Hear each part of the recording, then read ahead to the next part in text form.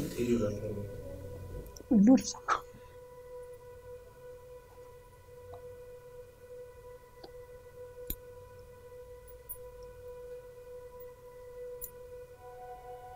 يرجع. ويسامحني إذا أنا في يوم. ضايقته نحنا كتير مشتاقين له من جد والحياة بلا بلا طعم.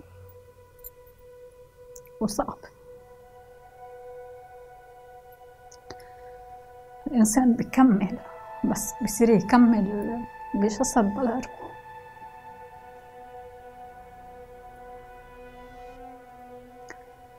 وهو يرجع بس.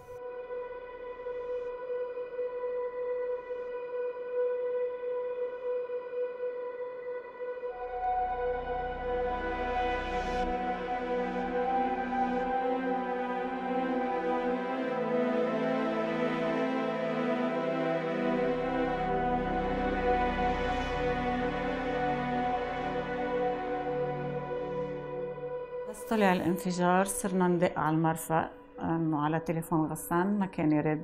أنا قلت إنه يمكن آه، من ضغط ال- الخطوط يعني والانفجار.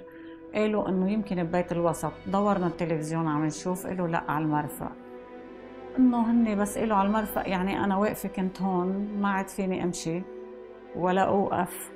وصرت صرخ يا ربي.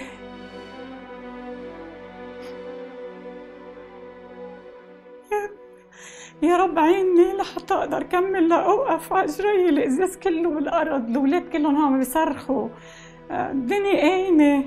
صارت الناس بس تعرف تدق لنا إنه غسان وين هون أو بالشغل. قل لهم أنا بالشغل أو الأولاد يردوا يقولوا بالشغل يقولوا نحن جايين لعندكم نحن بيتنا ما بينفت عليه.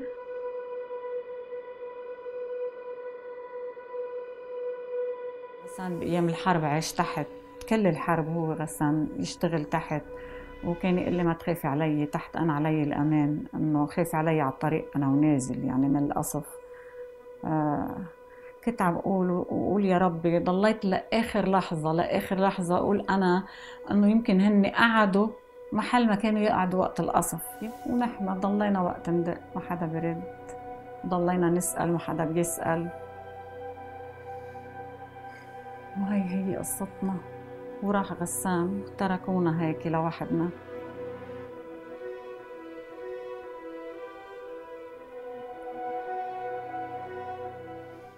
أخذوا لي شريك العمر هني أخذوه أخذوه كرمال هني طمعهم وجشعهم أخذوه أخذوه من ولاده أخذوه مني.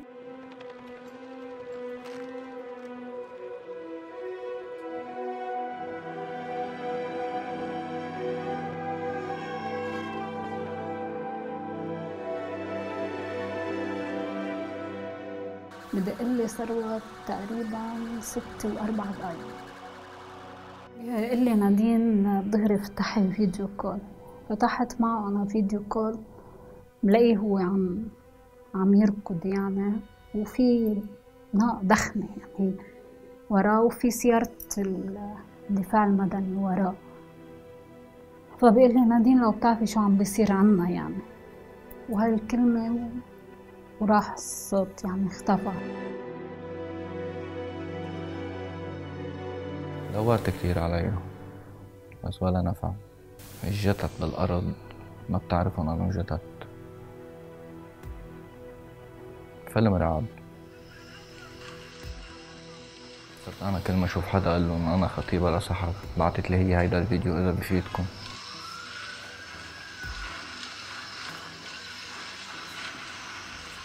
الشهيد شرب الكرم. زوجة لطالة زوجة صعب. وعلي كان يشتغل يسعى يشتغل لحتى يجيب العيش لأولاده. راح الصبح طلع الساعة ستة ترك ولاده نايمين اشتغل دوامة الساعة تلاتة. عمل حاله فال رجعوا على الطريق ردوا قالوا له رجع بنعطيك على الساعة خمسة آلاف ثلاث ساعات يا ريت ما رجع لين بس كلمة يا ريت ما بقى تنفع شي بتضيع بعيدة من هيك بروح بزورك يا إبي وأنا يا إبي حبيب قلبي يا إبي روح قلبك يا ابني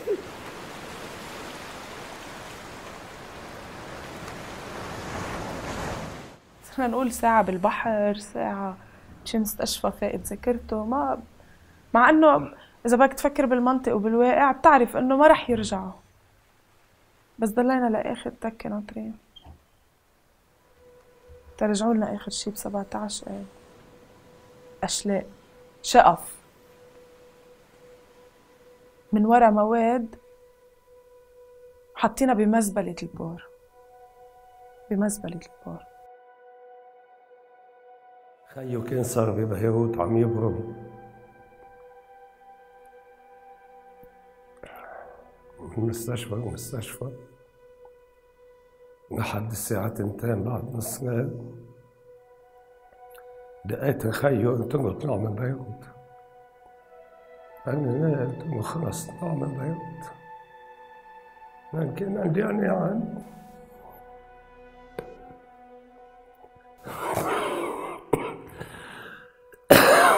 انه جو الشباب كلهم كانوا مع بعضهم. جماعة فوج الأطفاء أكيد ما في حدا منهم طيب. اللي بيشيل بنايات ما رح يترك ناس إنه قطع وشقف. وهيدا اللي صار نحن ما جبنا من أولادنا أو من الجو كمان بالتحديد إلنا أشلاء.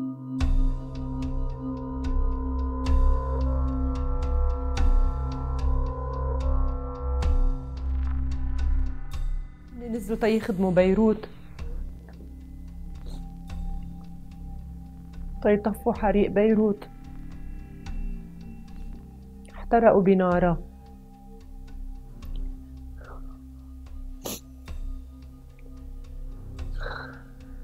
هيدي دولتنا. حرقوا لنا قلوبنا هودي منهم شهداء هودي انغدر فيهم. وهودي مقتولين. نحن أولادنا انقتلوا عبور بيروت. شفنا ثلاث أربع شقف قدرنا إنهم هو إلنا بالجو قال لا مش إلكم بعد ما اتفنا وقطع الأربعين رجعوا اتصلوا فينا. نحن متوقعين يتصلوا. كنا متوقعين الأشلاء بالجو أو غير شباب. إنه تكون شقف صغيرة. لأن كنا عم نشوف بمستشفى رفيق الحريري يجيبوا شقف صغيرة يحطوها ببراد شقف 2 كيلو كيلو مثل كأنك بمنحل. وقت اللي اتصلوا فينا تاني مرة أخذنا تابوت صغير ورحنا تنستلم باقي الأشلاء لازم نتفاجأ إنه الأشلاء اللي شفناهم أول مرة هو هن متجو. شقفة من ظهره إيده رجله. أنه لا كأنه صار في انفجار ولا كأنه صار في حدث على هذا المستوى. طير العاصمة وطير المرفأ وراح 200 قتيل و- وتشردت ناس.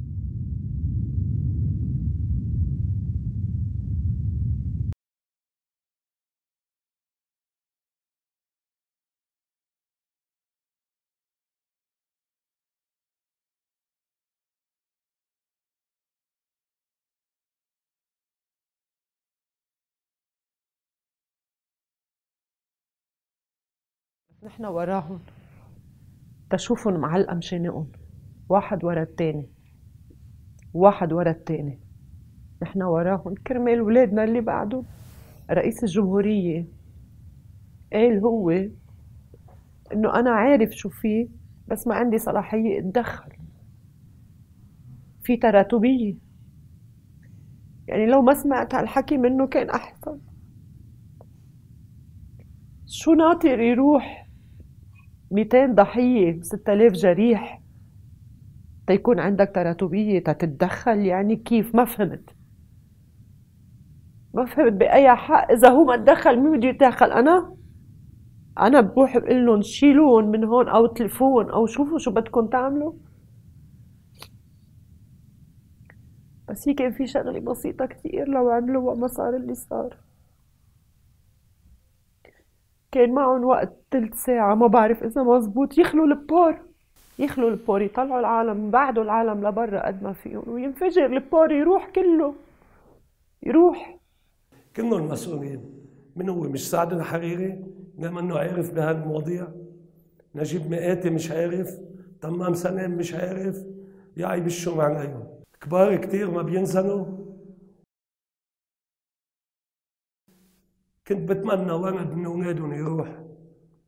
يروح شهيد على البورت أشوف شو كانوا عملوا. الله يستغفر فيهم الله كبير ما بيترك حدا.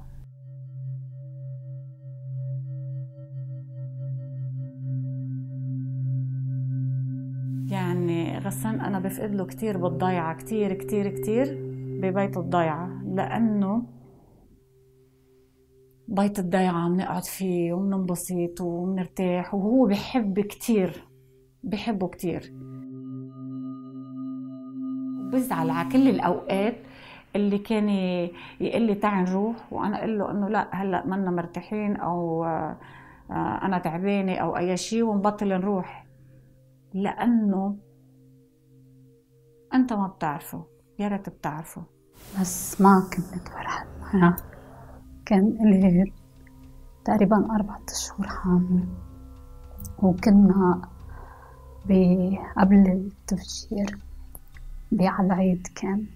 آه، كنا عاملين حفلة عند أهلي عشان نعرف يعني نخبرهم إنه معي إصابة وكذا. خلص ما عادش ما عادش في شيء له معنى. يعني كنا نفتش أقل شغلة تنفرح فيها تننبسط فيها. كنا مثلا كل شهر مثلا هس متفقين على واحد على قده يعني بيروح مثلا نظهر تيضل في جو ببيتنا. وثروت كان يقضيها هو وهذه غنى بالبيت. ولا زرع لك بستان ورود شجرة صغيرة تفيكي. لا زرع لك بستان ورود شجرة صغيرة تفيكي ولا جيب لك من نور الشمس. ما بقى في شيء له معنى ما بقى في شيء له طعم. ما بقى عندي هدف. ما بقى عند ما بقى عم فكر بقى بالمستقبل وقفت الدنيا. كل شيء تحول بلحظة من فرح لحزن من عرس لدفن من كارت عرس لورقة نعوة فستان أبيض لتابوت أبيض. كل التحضيرات اللي عم تعملها لعرسك عملتها لدفن. ومين؟ أغلى شخص بالدنيا على قلبك. يلي آخر مرة آخر شي كنت بتصور إني أخسره هو سحر كل ما بدي أعمل شيء كل ما أعمل أكل. يعني أنا بتشوفني إنه أنا واقفة أنا إنسان أنا هلأ عم بحكي بس أنا من جوا ما في شيء إنسانة مهدمة محروقة ما فيها تعمل شيء نحن الموتى. وهن العايشين إخواتي وجوزي هن اللي عايشين. ونحن الميتين.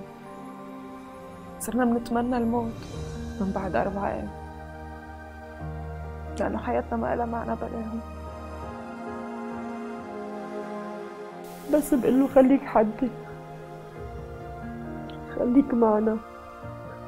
واعطينا القوة من فوق.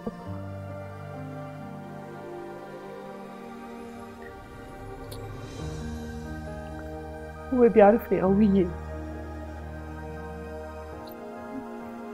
بس مش هالقد مني هالقد قوية اتحمل هالصليب الكبير. أنا هلأ لما بروح مثلا بظهر على الحارة مثلا بمرق من حد محل ما كان بالنادي بمرق من حد المحل رفيقه لحتى أشوفه إنه كان. حكاني جو وقت فرصته بيجي بيساعدني بشغلي عنده بيك أب كاميون بيشتغل هناك دقني اني بيي ما تعمل شي بكرة الصبح أنا جاي. قلت له بيي ما تعتنهم. شو في أعمل بعمل وناطرك على بكرة. وبعدني ناطره. بعدني ناطره تشوفه بس.